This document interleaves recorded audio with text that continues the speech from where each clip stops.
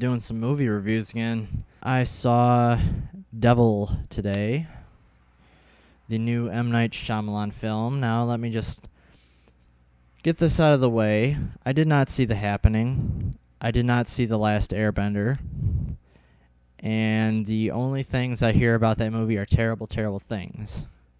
So, I'm not biased in any way, really, toward M. Night Shyamalan.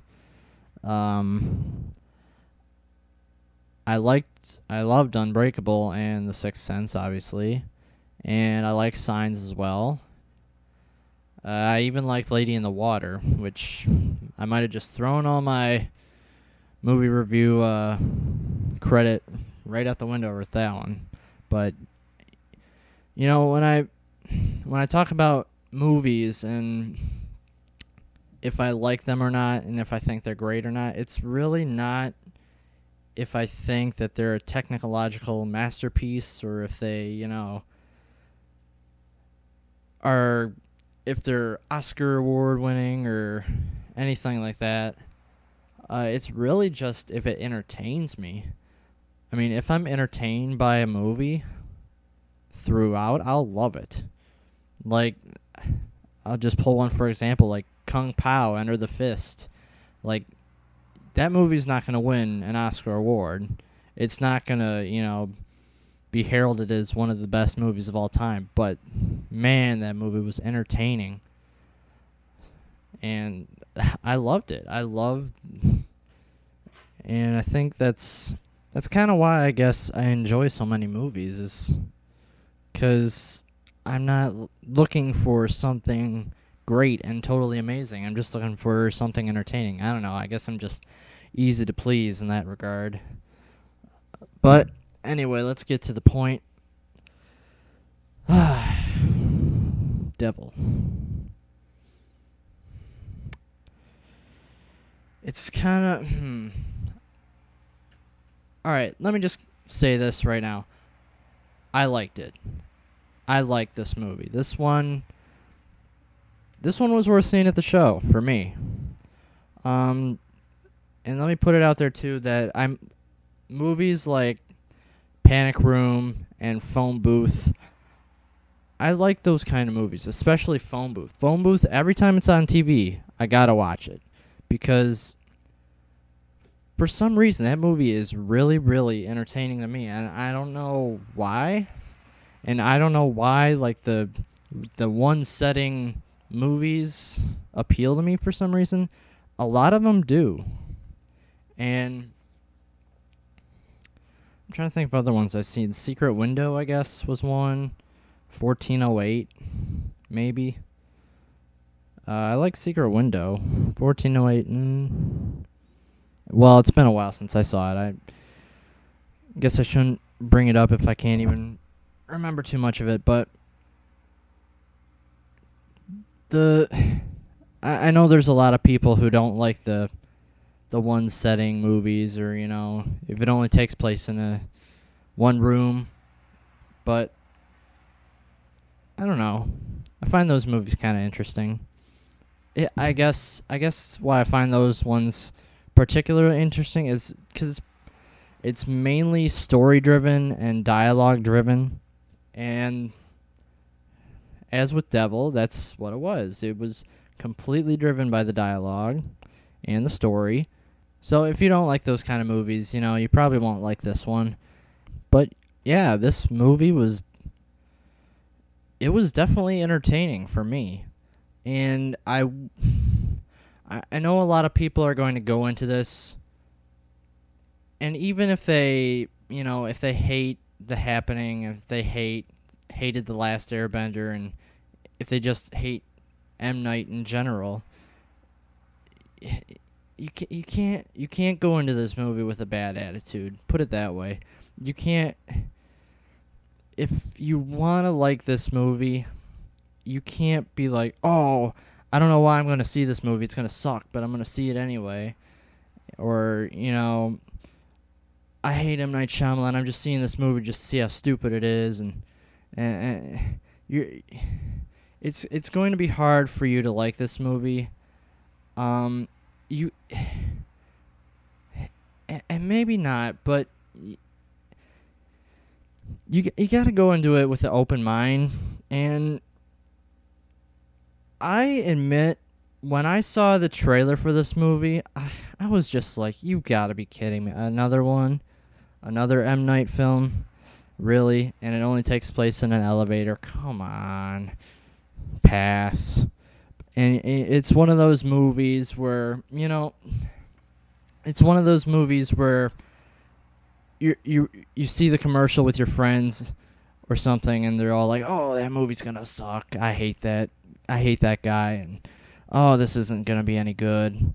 And you know, you kind of all talk amongst your friends and agree that it's going to be horrible, but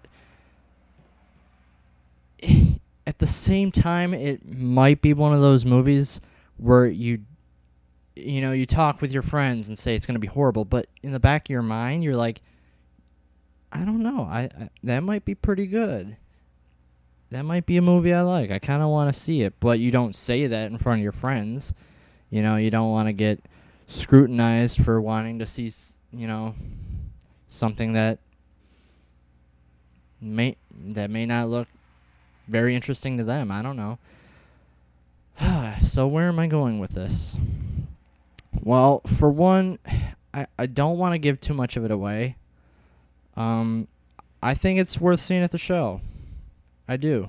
Uh, the, it's funny because I was looking at the showtime before I saw it, before I went and saw it and saw that it was only an an hour and twenty minutes long, and it's like there's, you know, there's not even most animated movies now are longer than an hour and a half at least.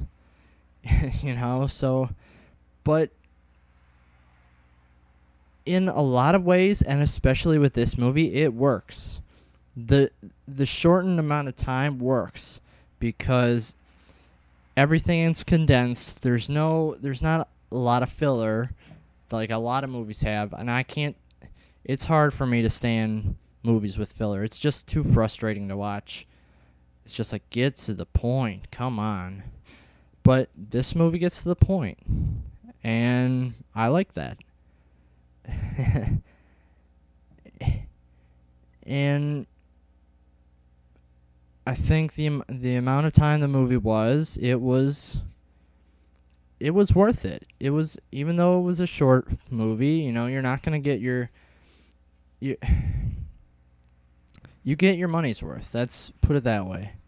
Um, for you know, for a two and a half hour movie, yeah, you're gonna get your money's worth based on the time, but on everything else on entertainment value, it's really hard. Uh, Inception nailed that one. Let me put it right there. Um, what else? Without giving much of it away, I will say the unfortunate thing for the for for me for this movie is the ending. The ending got an old roll of the eyes for me unfortunately. So if you're a fan of M Night's twist endings, you uh, I don't know. I just found it to be really kind of cheesy. I don't want to say it was a cop out necessarily. And the truth is, I didn't expect it, what happened in the end. But at the same time, it was just like, really? That's what you got? and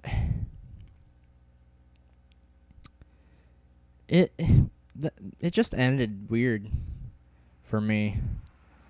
Um, but everything came full circle. There were no like. I'm looking back and I'm trying to find a loophole in the movie, and I couldn't. There was no loopholes for me. Um, maybe I wasn't paying attention. I don't know, but I definitely wanted this to be a good movie. I didn't go into it with a bad attitude. I was actually thinking it was going to be terrible, and I was like, "Wow, why am I getting my hopes up for this?" You know, this I know this is gonna be, or this is probably gonna be terrible. So why am I getting my hopes up? But I was hoping it for it to be good. I was, you know, I was hoping for an entertaining movie, a movie that kept me interested throughout the movie, and that's what it did. And it's hard for me not to like a movie that does that. Um, I thought the acting was pretty good.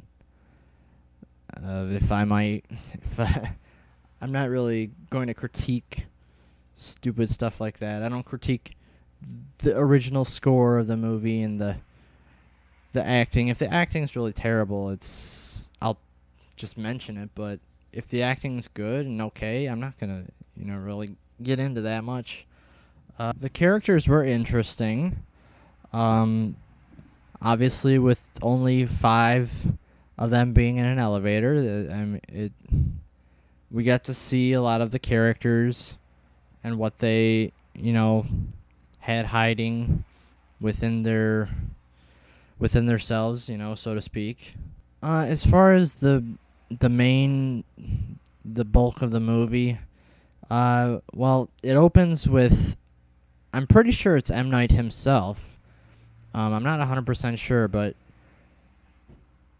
from it it I'm pretty sure it's M. Night that talks about opens the movie opens up with him talking about a story from his past that his mother told him.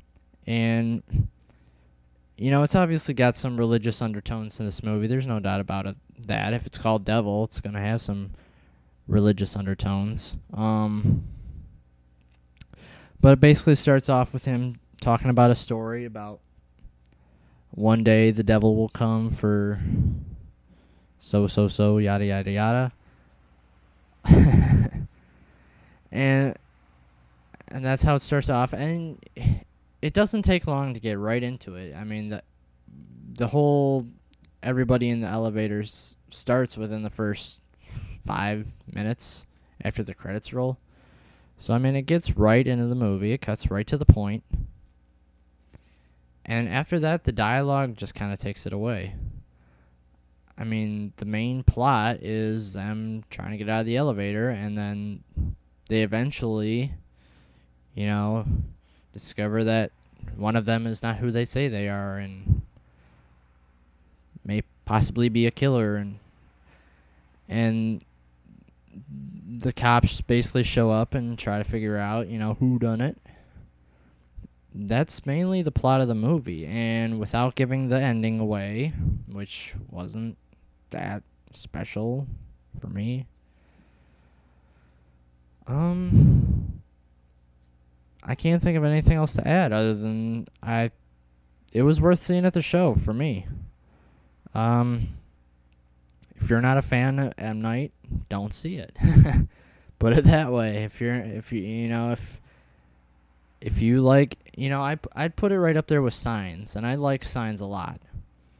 And yes, the whole thing with the aliens was people who saw it know what I'm talking about. The whole thing with the aliens and that is kind of stupid. Yes, but still it's the ride along the way that makes up for most of it and that's what this movie was. It's it was the ride. It was the journey from the start of the movie all the way through. And you know, say you take a roller coaster and it starts off good, maybe gets a little bumpy at the end.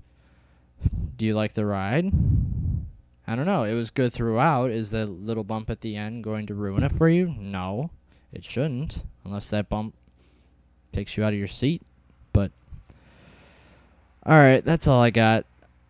Just don't go into this movie if you if you go to see this movie, don't go into it with a bad attitude, going, "Oh, this movie's gonna suck." I thought it was really good, and maybe some of you share the same opinion, and maybe you, some of you won't, and that's fine. Um, have a good day, everyone, and uh, tomorrow I'm seeing The Town, so I'm probably gonna do a review on that tomorrow. Uh, thank you for listening, and see you next time.